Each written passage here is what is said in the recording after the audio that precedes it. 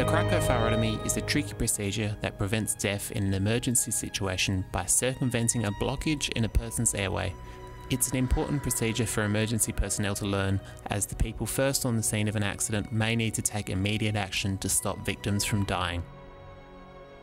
We designed our Crico Trainer to be a simple and affordable product that looks and feels like a human neck, allowing medical students and emergency personnel to practice the cricothyrotomy procedure before they attempt it on a real person.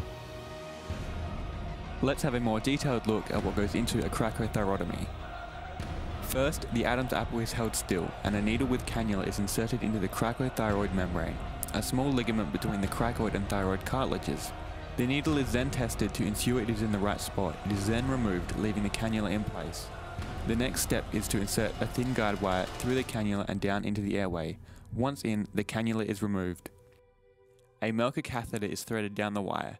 The catheter is a commonly found product that is specially designed for the cricothyrotomy. Next, a small incision is made through the skin and tissue with a scalpel. The Melker catheter is then pushed into the throat. This allows for immediate respiration to stabilize the patient until they can get to a hospital. We developed the Crico Trainer over the course of 18 months. Our initial aim for the design was to be anatomically correct, easy to carry, less wasteful, and easier to use than anything else on the market.